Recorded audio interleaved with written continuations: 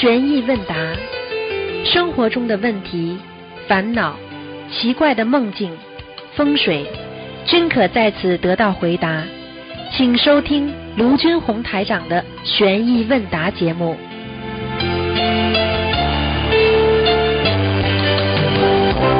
好，听众朋友们，欢迎大家回到我们澳洲东方华语电台。今天是二零啊一九年五月三号，星期五，农历是三月二十九。好，下面开始解答听众朋友问题。喂，你好，喂，师傅你好。啊，你好，嗯，请讲吧。对，师傅你好，弟子给您请安。嗯，谢谢。今天有几个问题想请教一下师傅。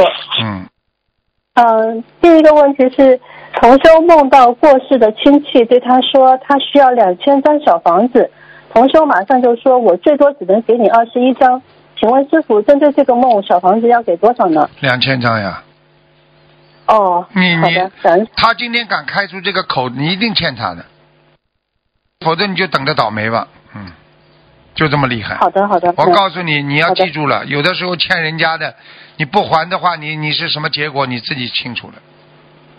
哦，明白的，嗯。明白的，感恩师傅。嗯，嗯，下一个问题是，同修梦到清洗家里的菩萨像，然后清洗当中呢，菩萨发出很累的呻吟的声音，请师傅解梦。啊，干不不干净啊，手不干净，清洗哦菩萨像手不干净，嗯，哦，那现实中这位做梦的人呢，他就是呃帮助其他师兄向别人结缘了参加法会的免费机票，和这个有关系吗？呃，他帮人家结缘，就是对的，啊，就是说他就是人家给他买机票钱是吧？呃，他帮助师兄向别人结缘，就是让其他人去呃助缘这个参加法会的机票。啊，这个没问题的，这个不是这个问题，嗯，呃，那一定是哦他在跟菩萨许愿的时候有点不是太如理如法，或者他给菩萨换佛台啊，或者在啊供香的时候不如理不如法，嗯，哦，那针对这个要这个梦里面的话，需要念礼佛吗？要至少二十一遍，嗯二十一遍。好的，感恩师傅。嗯，嗯，下一个问题是，有一个同修，他嗯，就是有人给了同修一个红色的泡沫箱子，呃，泡沫垫子，他以为是用来点小房子的，后来才知道呢是去法会搬临时拜殿用的。请问这个现在还能当拜殿用吗？或者是只能扔了，还是继续来他干嘛了？他干嘛了？拜殿他帮当成当成什么了？点小房子用的了？啊，这没关系，嗯，这没关系，哦，就是还可以，那就是还可以当带电用是吗？可以可以可以，没问题。哦，好的，感恩师傅。呃，有同修梦到呢，有个女孩子带了一只狗，同修呢就去抚摸这只小狗，忽然他自己呃，忽然这只狗就变成了一个小孩子，同修呢就哄他睡觉。现实中呢，这个同修已经许愿给流产的孩子二十一张，但是还没有念完，请师傅解梦。啊，投狗了，嗯，投狗了，哦，就是这个小啊？流产的孩子已经投狗了，哎，嗯，哦，好的，感恩师傅。嗯，同修的儿子很小的时候呢，他们家亲戚送了一个黄金的观世音菩萨吊坠，小孩子就喜欢咬着，就喜欢带着咬，整个菩萨像已经被咬的完全看不清楚了。请问针对这个事要念多少遍礼佛？哦，满四十九遍，嗯好的，感恩师傅。嗯，嗯，下一个梦是，呃，就是同修他许那个求菩萨验证小房子的质量，嗯就是结缘的小房子，然后梦见了自己在地上吐了白色的泡沫，然后呢，梦里面是说觉得自己吐痰违愿了，要念礼佛。嗯。请问啊这个是和小房子质量有关吗我这呃，他是问质量是吧？那当然不干净了。吐在地板上面，哦就是说不干净呀、就里边有的有一些不干净，不是全部。嗯哦，好的，感恩师傅。嗯，同修家里的佛台，呃，菩萨像正对着家里面的后门，嗯，当中呢隔着玻璃窗的，请哦，问没关系，这没关系，后门没关系。嗯，好的，感恩师傅。嗯、在某些国外的音乐盛会，有些人呢，他就是穿着比基尼的。请问，在这样的场合去弘法发那个宣传单合合适吗？你被他的这种穿的比基尼那种样子，说勾引了，或者去乱想了，你当然有业障了，当然不合适了。你要看着什么样的会，你可以去发呀。你当然善良的、慈慈善的会啦，或者一些活动了，你不要像这种穿比基尼的，如果都是穿比基尼的，你去发什么啊？发疯啊！嗯不是发发佛书了，是发疯了，听得懂吧？嗯，听得懂。好了，好的，明白了，感恩师傅开示。呃，请问师傅，莲花掉下来的师兄有没有规定说，超过多久不重新种上就永远种不上了？没有的。菩萨永远给我们机会，只要你改，哪怕到死的之前，你只要到了这个符合这个标准，照样种上去，没有话讲的。好的，感恩感恩菩萨，感恩师傅。嗯，嗯、有同修在法会期间念经念得更了，就想用那个小按摩棒去按摩一下眼睛和头部，但有些师兄说这个是享受，最好不要这样做。那同修，请问，在法会期间早起晚睡，他个人身体问题，想适当的做一些按摩，但不是用享受的心态去做，这样可以吗？当然可以了。那个人是乱讲话的，你敲敲背啊，敲敲腰的话，这这这这这叫享受啊！这按摩自己的话，那个完全是合法的。菩萨不让你身体好啊！这种这种佛友真的是不懂装懂的了，好的，感恩师傅。听得懂吗？嗯、嗯，听得懂啊，师傅听懂了。开什么玩笑啊！身体要好啊，你才能修心，才能渡人呐、你连自己身体都不好的话，你怎么渡人，怎么修心啊？脑子嗯坏掉的，讲这种话的人真的是脑子有问题。好了，好的，感恩师傅。呃，也现实中有一个同修，他已经许愿清修了，能不能念大吉祥天女神咒给自己的女儿求婚姻呢？可以。好的，感恩师傅。嗯、有一个梦是同修梦到早上早起上香，发现呢佛台上的菩萨像都没了，房子漏水了。先生说房子漏水，他就把菩萨像请下来收起来了，但是菩萨像并没有损坏，然后他们就开始找人修房子。梦里面的这个佛台呢是原先的旧佛台，房子也不是现在的房子，请师傅解梦。这很简单了，这个就是说明菩萨不来了呀，叫他要重新许愿，嗯把过去的愿重新许。我教你们一个方法，就是凡是梦嗯做梦做到佛台上的菩萨，突然莫名其妙的不见了，或者一样东西突然之间不见了，你就要重新许愿，把你过去许过的愿重新再讲一遍，明白了吗？哦，明白了。好了，感恩师傅开示。哦，明白了，感恩师傅。然后同修，请问在放生的时候，祈求完所有所求的事情以后，心里就跟菩萨讲，菜市场的鱼很可怜，自己暂时没有这么多能力能够帮助到他们，请菩萨大慈大悲救救这些可怜的众生，让他们能够早日得到超度。这样的话如理如法吗？如理如法，嗯，那他会把自己放生的功德和福德都转转给放生的鱼了吗？不会的。你转给你转给鱼的话，实际上你救了他们，就是给自己制造一些新的功德呀，很好的。哦，好的，感恩师傅。嗯，然后有一位同修梦到去别人家里种植大棚，对方带他去参观，有好多就是种了很多的大的番茄，做梦的人还吃了一个，然后对方还和他介绍怎么样用手机去远程操控去杀打这些农药。那做梦的人就想打农药是杀生啊，好像不好，然后梦就醒了。请问师傅，这个这个梦是说种菜的人修行有成果了，还是说这个呃地面杀农药杀生不好呢？杀生不好呀，叫他念往生咒。哦，好的，感恩师傅明白了。嗯，嗯，师傅，同修，请问，如果想要验证结缘来的小房子的质量，是否需要将结缘的小房子放在佛台上面，再祈求菩萨做梦验证呢？不一定的，反正你这个意念在自己大脑里存储存三十秒钟，这个意念菩萨跟哦护法神就接收得到了，哦，好的，三十秒并没有这种要三十秒。环境的要求，对吧？嗯，就是其实就是有点像，就是有点像那个叫叫像上新香一样的。嗯，哦，明白了，明白了，感恩师傅。呃，有那个同修有用过几次的头枕头可以送送人吗？这个枕头如果是玉石的枕头呢？玉石啊，对的，就是已经好几年不用了，但是是玉石的枕头，这种可以哎送人吗？谁要么就送给谁了，哎有问题。玉石的枕头不能枕的，对大脑血管系统并不是件好事情。嗯，它是属阴的。哦，明白了。嗯，好的，感恩师傅。嗯，嗯，有一位重病的同修，为了身体健康，他许愿把许愿现身说法，用这个功德来消除某个部位的孽障。当天晚上呢，他就梦到有两个师兄去看他，这两位师兄呢要想方便就去呃找厕所，最后呢就在露天的茅厕，一个上大号，一个上小号，重病的同修呢就帮他们遮挡住，请师傅解梦。啊，这个啊，这个还不懂啊，这很简单了。他本来是去帮他们两个是吧？帮他这个张帮他，是不是那两个同修去帮助那个重病的啊？是不是啦？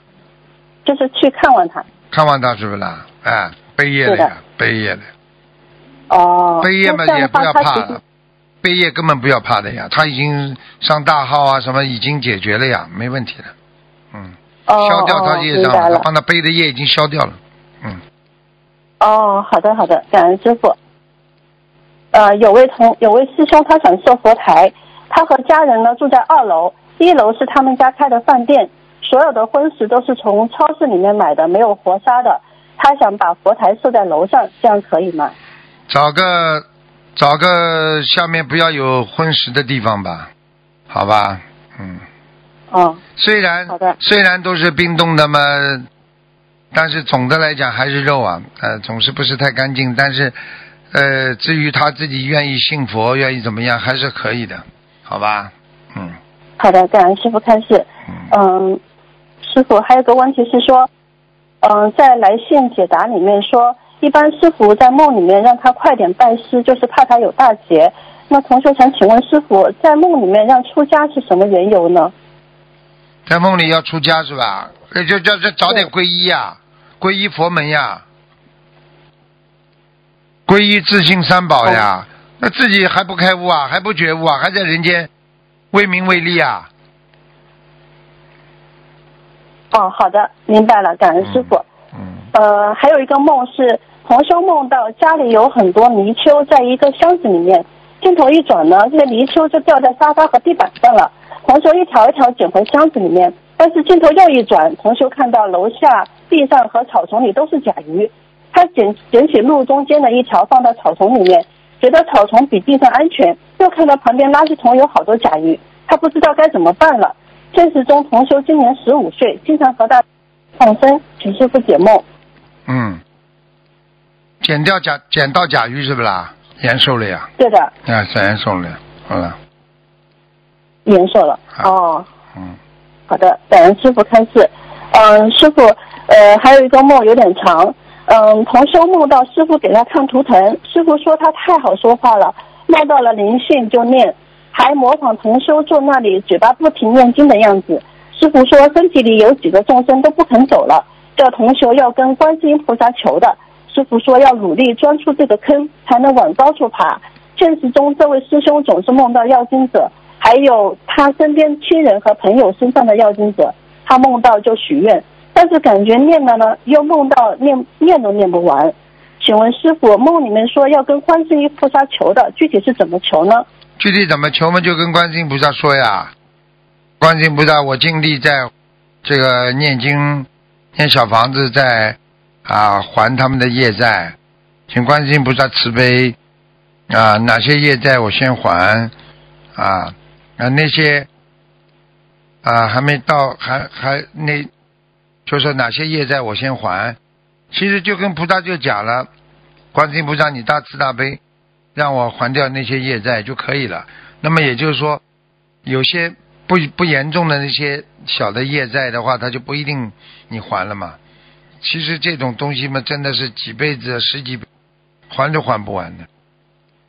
哦，是的，我也我也不知道怎么讲，嗯，反正你跟菩萨讲吧，因为他自己有这么大的业障，对不对？观世音菩萨大慈大悲啊，保佑在我正常生活的范围筹当中，尽我自己的所能，我再还他们的业障。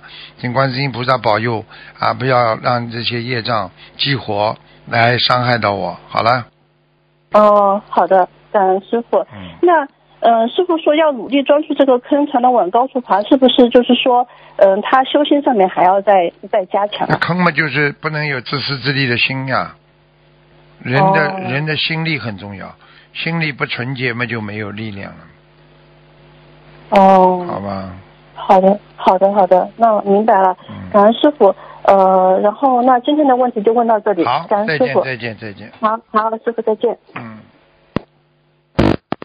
喂，你好，喂，你好，哎，师傅你好，感恩观世音菩萨，感恩师傅啊。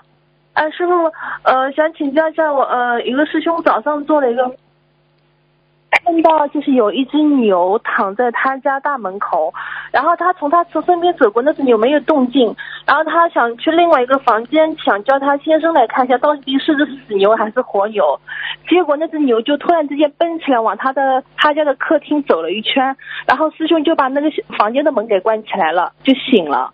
麻烦师傅解梦。啊，灵性呀，这牛的灵性呀，嗯，哦、那是念家里的要经者还是自己的要经者？家里的要经者，嗯，哦、那一般许十七张吗？师傅二十？一张，二十一张。二十一张，好的，好，感恩师傅。呃，师傅稍等一下，有同学想咨询一下师傅。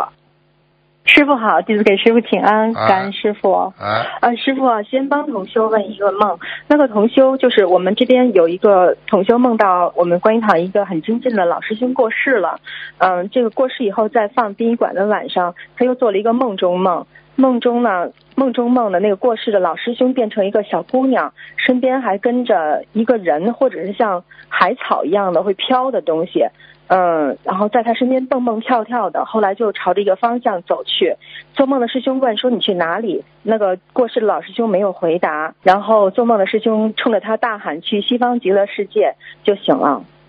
嗯，那就是那个那个人老师兄到西方极乐世界去了呀，哦，就是说他要是现在走了，能去西方极乐世界是他的？境界已经到了。啊，境界到了，那就是还是有劫，然后就呃好好念经过劫、是吧？延寿哈。啊，你就是这这当然了，你要是在人间把阳寿过完了，你再走多好啊！但是要保持，因为你如果不好好修的话，虽然你阳寿延了，你到最后还是上不去的。嗯，哦，明白明白了。好，谢谢师傅，感恩师傅。嗯嗯，就是还有一些现实中的问题想请示师傅。就是现在就是前两天同学发给我一个网上传的范本，就是东方台嗯发出来的一个呃网络共修祈求的范本，其中就是有包括一些呃经文的祈求，呃想跟师傅确认一下，像礼佛大忏悔文这个祈求，呃是要一定要说是忏悔今世的业障，还是范范说忏悔我某某某的业障，还是怎么求比较？忏悔一般的说都是忏悔今世呀。嗯，今世啊，就是一定要说是吗？啊因为你前世的业障的话，也会到今世来报的嘛，所以弄来弄去还是今世呀。哦，那忏悔的就是说，请观世音菩萨慈悲帮助我某某忏悔我今世的业障，啊是吧？对呀、对呀、对呀、啊，好，谢谢师傅。呃，还有这个解结咒，那个前两天呃前前前几次听师傅做节目的时候有说过，那个人前世的感情债，你让他多念解结咒，就是这解结咒也可以化解前世的感情恶缘，是吗？是的，嗯，哦、那这个祈求的时候要说出来是前世的感情恶缘吗用？不着说，嗯。啊、那这个怎么说呢？就是没泛泛说，请的说吗观世音菩萨保佑我化解我的恶缘嘛就好了嘛。啊，化解恶缘就好了。嗯，好，谢谢师傅。嗯，还有那个沙业的问题，对师傅就是说沙业重的话，就是光念往生咒不是就不够了嘛？要念礼佛哈，念小房子。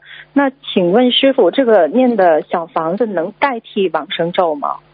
念了小房子可以的，嗯哦，可以代替往生咒，嗯，可以的。明白。那那我其实以前念了好多小房子，说明我的杀业太重了，还要念多往生咒。对呀、嗯，因为你往生咒是。有的放矢嘛，那个是、哦。那个是没有目标的嘛，只是给你储存嘛，嗯。嗯。好的，那个我想问一下师傅，那个往生咒的全称不是叫把一切业障根本得生净土陀罗尼嘛？嗯。那这个一切业业障，就是说也包括其他的业障，对不对啊？往生咒的话，基本上一般的啊，你从整体来讲，嗯整体来讲，你说总是啊，我念了之后能够超生了死啦，对不对啊、往生极乐啦，你不，比方说你对小动物你念往生咒，嗯对不对？那么你嗯讲起来是说你把它超脱啊，超脱到人，对不对？嗯实际上呢，这个往生咒呢，它当然就像你刚才讲的一样，它超度亡灵啦，啊，主要是超度亡灵啦，嗯。啊，然后呢，就是要灭消灭四重罪啦，嗯。啊，忤逆罪啦，四重罪嘛就是杀生、偷盗、邪淫、妄语啊，你对不对啊？所以你要是经常能够念的话，那你就是拔一切业障啊，哦，啊，这根本得生净土陀罗尼了呀，就这样哦。好，师傅，那比如说啊，一个人就是呃，打个比方，如果这个人一辈子他需要念十万遍，从沙业上来讲，他需要念十万遍往生咒。嗯，那如果他念了二十万遍，多余的这个十万遍可以消他其他的业障，是？可以，完全可以。嗯，啊，明白了。我就问你你家里欠人家款就是十万，你赚了二十万，多余的嗯都不是你家里的啊哦，嗯，是师傅。啊。嗯，谢谢师傅。师傅，那那个往生咒，您不是说那个往生咒，呃，像那个自存往生咒的那个不不要经常的，不要不要只有特定的时候不要不要，那个激活往生咒激活是个什么原理呢？往生咒激活嘛，就是因为你不停的在念呀，你在灭自己的十重恶业啦啊，然后呢两舌啊、绮语啊，你想想看，你不停的念，你不停的在造业的话，那还能消？那你现在已经修到很高的境界了，对不对呀？那你这些往生咒，它是灭度亡灵、超度亡灵。如果你家里的亲人啊，这个总归会被你抄的差不多了吧？嗯那么清净三业啦，啊，对不对啊？嗯那么到了一定的时候，你念出来很多，三十万遍、二十万遍了，嗯对不对啊？那么嗯你有可能，你家里啊、邻居啊、你前世啊，哦。你根本这这辈子没有得罪的，他只要身上他有灵性了，你跟他一讲话，他的灵性就来问你要了呀，因为你有多嘛，哦，那那这个多了嘛就叫嗯富裕啊。那师傅这个自己也不知道呀，那那不知道嘛，你就你你就不知道就念小房子比较中性呀。他他已经是小房子已经是中成药了呀，已经配合了，吃哪哪里就吃哪里的呀，嗯听得懂不啦？行，那么过去、哦。过去有的人也是的呀，念二十万遍、三十万遍也会生智慧啦，嗯。啊，或者也能破破破迷惑啦，有人见阿弥陀佛啦。实际上就是说，他还是有一个量的。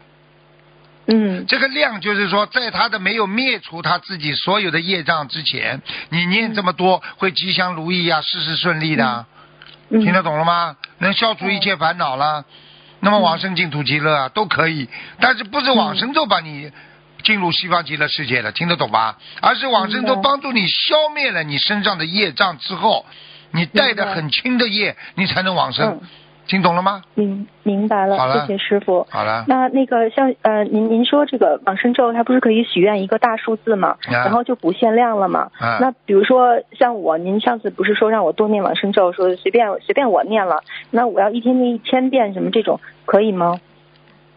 你看看看，像你这种人，一千遍念完之后会什么事情发生？神经兮兮啊！听懂吗因为我们有个同修，他就已念了经有了，你已经有点他说很好了。很好了。我跟你讲，任何经文你盯着念都很好，问题就是你不能有杂念，不能有新的业，嗯，听得懂不啦？那师傅念多少遍比较安全呀？平时不是跟你们讲了，四十九了，二十七了，都安全的呀。这种都是哦安全系数啊！你说一，哦你说人生再好，你你能猛吃不啦？吃的流鼻血啦！嗯、那是许愿之后可以再多念一点吗？许愿之后可以的呀。三百遍。你比方说，他讲是讲你能够灭忤逆、十恶、啊，绑法等重罪，那问题嗯你、你有没有绑法？哦，你有没有忤逆啊？你有没有杀过你爸爸妈妈？嗯听懂了吗？，OK，好，啊，那我就还稍微再稍微少一点，也不要太多哈，中中中道一点比较好。你自己你我就举个人间的事情就可以了。你在嗯法官面前，法官啊，我有罪啊，我有罪啊。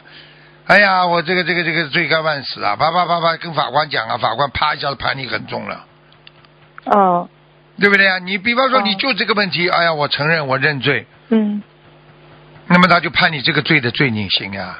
明白，我就是有这个问题，是。好，了，你已经是这个问题了，我真的是这个问题很严重。啊非常严重，你就是所以神经兮兮啊，兮兮听得懂吗？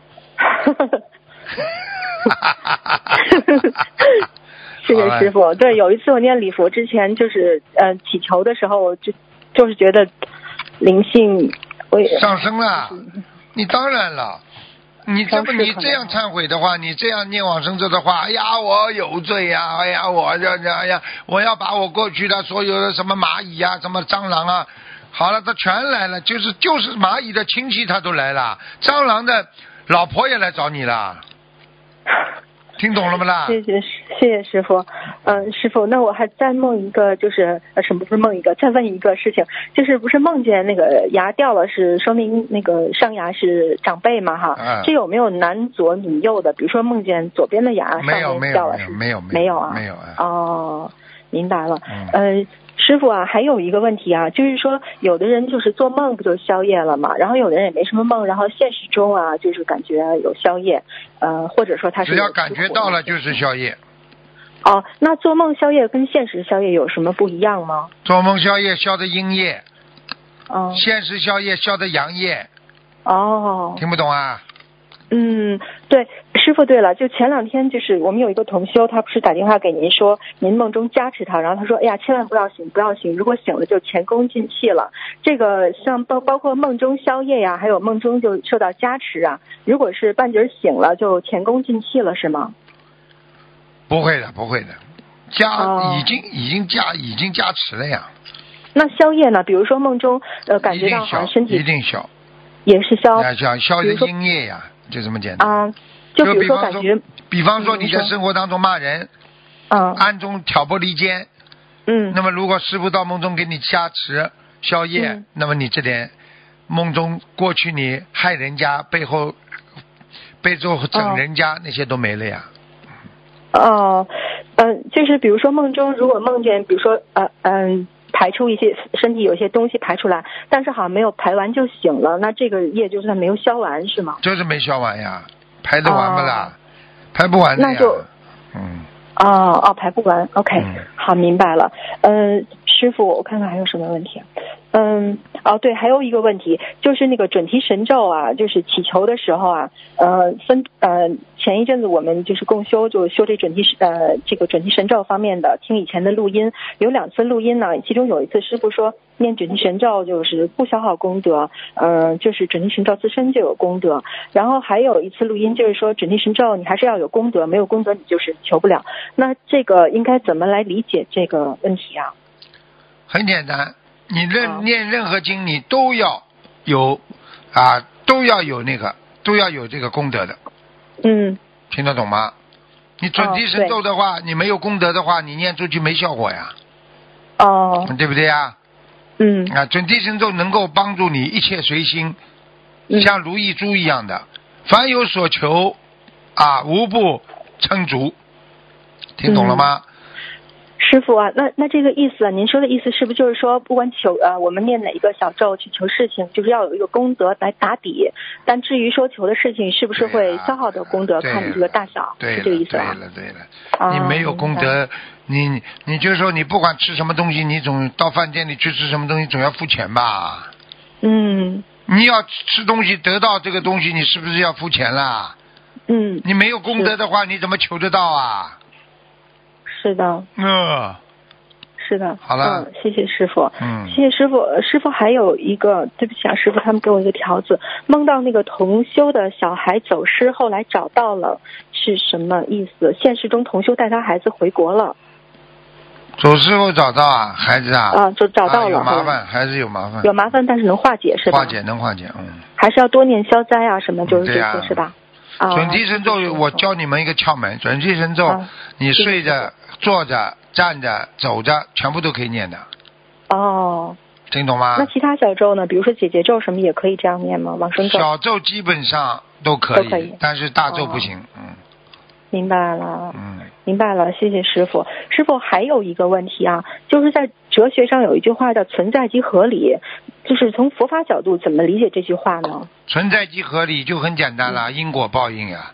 今天这件事情存在在你的身身上，那个嗯果来了，那不就是有因吗？是合理的呀，不会不会无缘无故的呀。这个世界没有无缘无故的爱，没有无缘无故的恨的呀，都是有缘、哦有因有缘的呀，有因有果的，这是个天律呀。嗯存在不合理呀？存在怎么不合理啊？合理。好了，今天能够让你吃苦也是合理的，因为你肯定造了因了。今天让你享受也是合理的，今天享受到最后没了也是合理的，所以哦这叫随缘呐，随缘不变，不变随缘呐，明白了吗？嗯，明白了，谢谢师傅。师傅啊，前两天我有梦到那个我我的婆婆，就是梦到我好像梦里是在给她放生，然后从放生的那个嗯水里面那个影像里面，我好像看到了一个另外的一个，然后好像有一个人还是什么一个意念的，就是说他可能嗯过不了今年，但是梦里面好像说他属猴，但现实中他并不属猴。嗯，那是上辈子，嗯哦，嗯，那他今年据说他有今年有劫，是不是啊？是啊，是这个肯定有意思吗，肯定有啊。啊，明白了，明白了。好，谢谢师傅，感恩师傅，那我们没有问题了。好，请我们我们自己的业障自己背，嗯不让师傅背。嗯，好，啊，祝师傅新加坡法会圆满成功，师傅好好保重身体，谢谢师傅，师傅再见。。嗯。喂，你好。喂，嗯，你好。师傅，你把收音机关掉，收音机关掉，收音机关掉，收音喂，机你。好，哎哎，师傅您好，师傅辛苦了，感恩菩萨，感恩师傅。哎，呃，我有几个那个共修组那个和观音堂的问题，想请师傅慈悲开示一下。嗯呃，第一个问题是我们观音堂上香的时间是早晨十点到下午五点钟灭灯，然后有些师兄在在前一天晚上呢，他会住在观音堂，第二天早晨五六点钟起床的时候，就想在那个观音堂点油灯，然后点香，然后念礼佛。请问这种个人的这种在观音堂提前上香的这个活行动是不是可以的？可以的，可以的但是一定要干净啊。起来之后哦至少要洗脸漱口吧。哦，这个没有问题，哎都是我们的师兄弟子哎都很干净的，哎吃全素的。然后他是上完香之后呢，他会先灭一下香，因为他可能要离开，比如说要去设佛台或者有事情，他就离开之后，我们早班的师兄十点钟到了再香香不能灭，就香不能灭，就是就是就是那个那个那个灭掉，那个叫香啊，叫油灯啊，油灯。啊，好的好的，感恩师傅，这个问题终于解决了，因为好多师兄没关系起来觉得在气场特别好，就是很想在观音堂。他们完全可以呃，完全可以。啊，明白明白，感恩师傅慈悲开示。第二个问题是我们在外面有举行那种几百人的素食会，然后在素食会的时候呢，我们是发给呃街边的所有的华人嘛，然后他们来的时候呢，就会把他们组织的那些活动的一些门票拿过来发给这个参加我们素食会活动的一些华人。请问这种活动是不是可以让他们在我们现场发这种门票之类的？因为有些是需要付费的。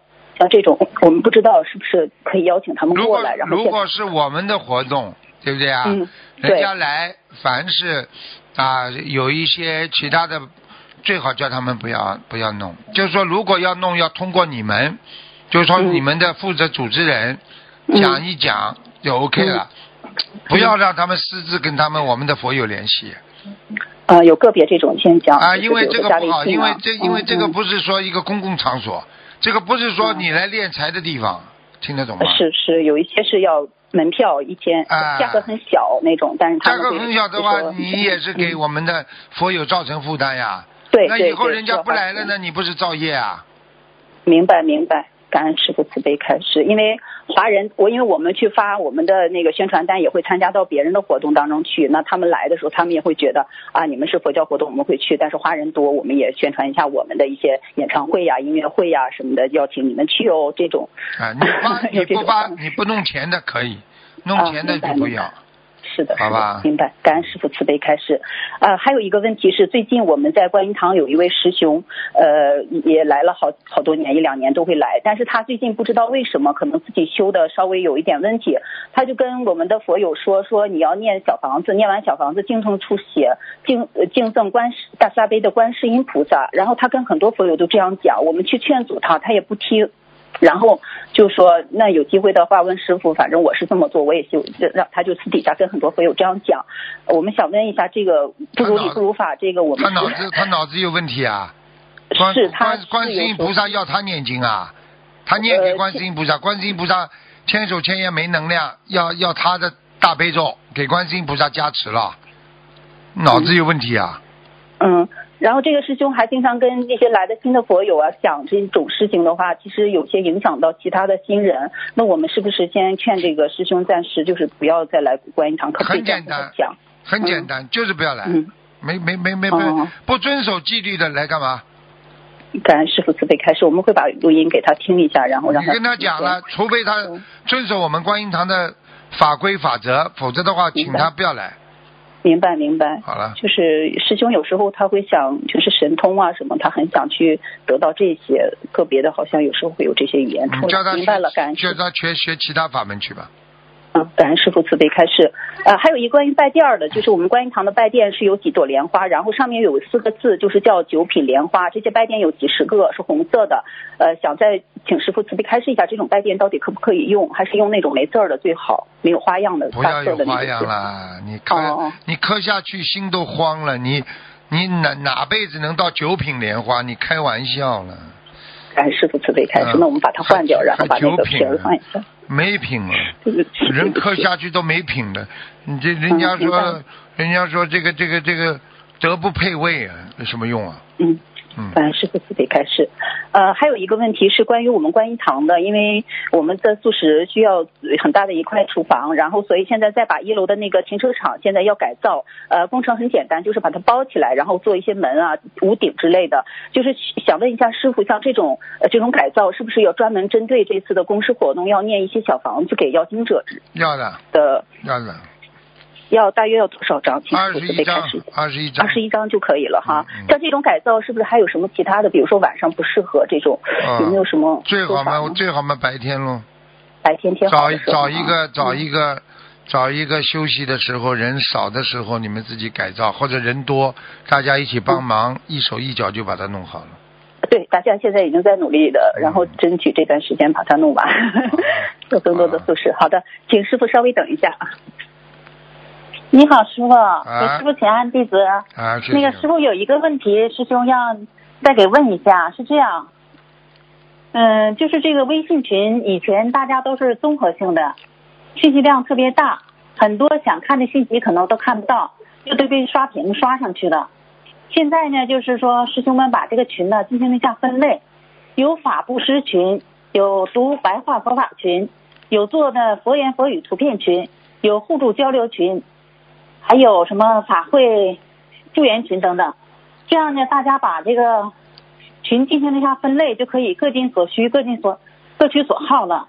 想问一下师傅，这样的分类合不合理？如理不如法？如理如法对不起，师傅。嗯，像这种分类只是一种啊、方法之一，如果你觉得大家能够接受，但也没什么不好，对不对啊？那么就是说，举个简单例子，你吃饭的话，对不对啊？你分类蔬菜一起上，啊，那个那个这个甲甲鱼甲甲的肉啊一起上，啊，你汤一起上，有好有坏。汤一起上，两个汤一吃，你还吃其他东西了？你当然夹着吃比较好啊。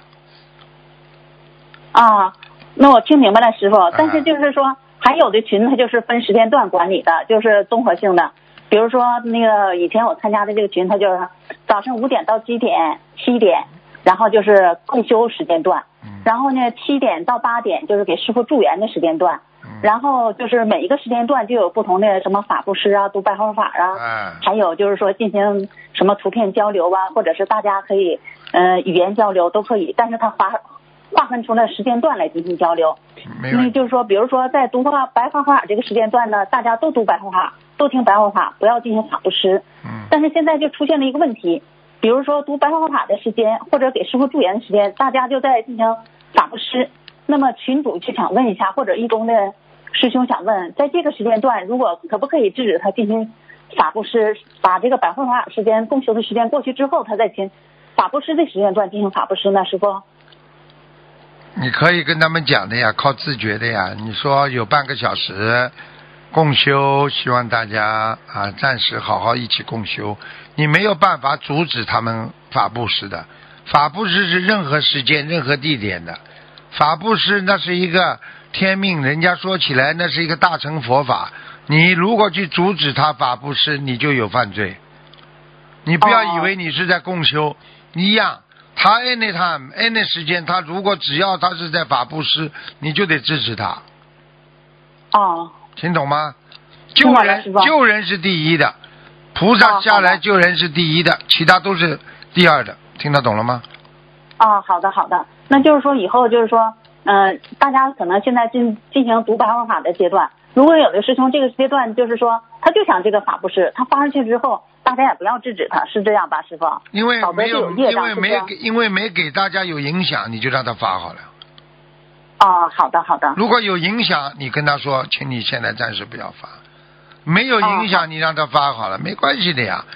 嗯。啊，好的好的，嗯，那个就是说这个时间段，师兄们就说啥呢？为了净化群里这个气场，所以就是要进行一下就是统一，你然可后以。群主啊或者义工啊就制止他。我我告诉你，谁制止他，谁出现嗔恨心，谁就功德有漏。哦，好的好的，你们听师傅的话，我告诉你，你只要一看见他一发了，这这烦，好了，你功德就有漏了。你、你最好的方法，你知道哪几个要发的，你跟他说，给我半小时，我们共修的时候最好停一停，那不可以呀。哦，好的。好了，哪几个人发的嘛，你应该知道的呀。好了，啊，好的好的，明白了，听明白了，师傅，感恩师傅。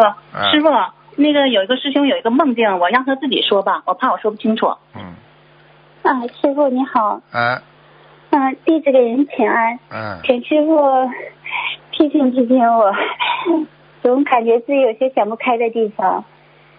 忧郁症才想不开，听不懂啊？嗯，忧郁症、自闭症，感情上出问题都会想不开。像你们、嗯像你这种嗲嗲嗲嗲的嘛，肯定感情上出问题了呀。嗲嗲嗲个魂呐、嗲嘛就是来还还情债的呀。嗯，你嗲的话就是让人家来爱你呀，你不是自己找麻烦啊？你一个人老让别人来爱你，你有麻烦不啦？你烦恼不啦？是，好了，是啊。对不起，啊，对不起，哎呀，对不起，你们别别别逗了，你好好练练，练得像男人讲话一样的。你看看谁来追你啊？傅嗯，嗯、你看看每个声音出来都这样，你这个这个真的还情债的，听得懂了吗？世上世上最烦恼的就是一种情，这个情是剪不断理还乱，听不懂啊？对，你要好好的修啊，你一定要剪断情丝啊！哈哈哈！哎呦，我真的是，哎呀，真的是，不要啊！你这这这语言都会勾引啊，听不懂啊？哎呦，可是哎呦，都说我好厉害的。哎你是不是你是不是你是不是疼歌啊？唱歌哪疼啊？浑身都疼。嗯，哎呦，哪疼了又对？胃疼了吧？我昨晚上做个梦，您可以嗯帮我解，能帮我解一下吗？好啊。嗯，就是前后吧，我也说呃记不太清楚，就是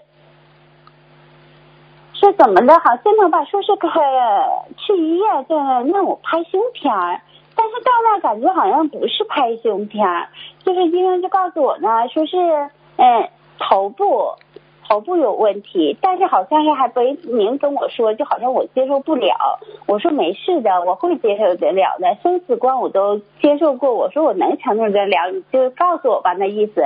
然后他就跟我说了，意思说我脑部长瘤了，然后让我去哈尔滨，就是黑龙江的，我家就住在哈尔滨嘛，然后就说让我去哈尔滨医院。你现在就，你现在就好好的，好好的念经吧，自检查一下，没什么毛病。有毛病的话也好好念经，好好吃药，听得懂吗？嗯你像你这个，我我告诉你，还情债的呀，你这麻烦了。是的，哎呦，哎呀，那我就当心点吧，不要再这样了，少跟男人接触了，听得懂吗？知道自己身上的这种毛病，少跟男人接触，听不懂啊？知道。我身边没有男人啊。想找一个啊？嗯，不想，我已经许愿清修，师傅，就你这样子怎么清修啊？。你讲话重新开始讲，以后好好练练，练得坚强一点。你没看见很多女孩子讲话，没有没有没有，不是也蛮好啊？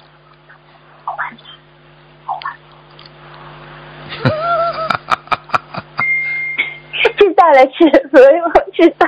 嗯你好好说说我们还有什么毛病？没毛病了，没毛病，一点毛病都没了。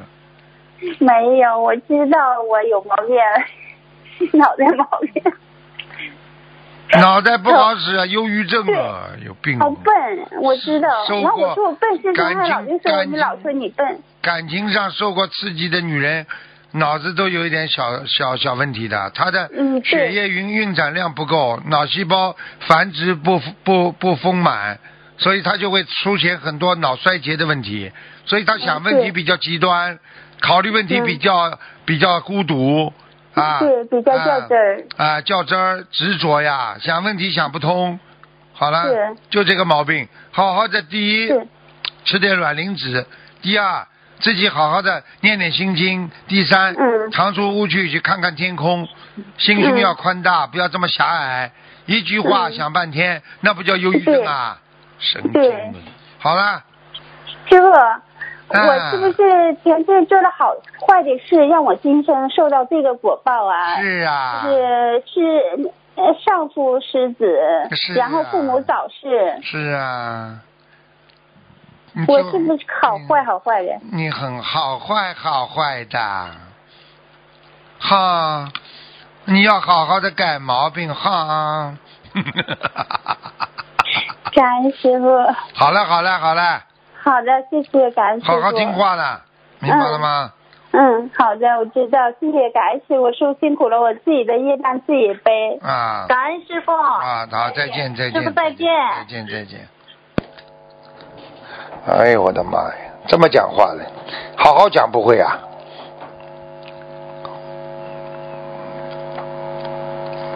我自己业障自己背，自己日业障自己背。哎呀！喂，你好，快点抓紧时间。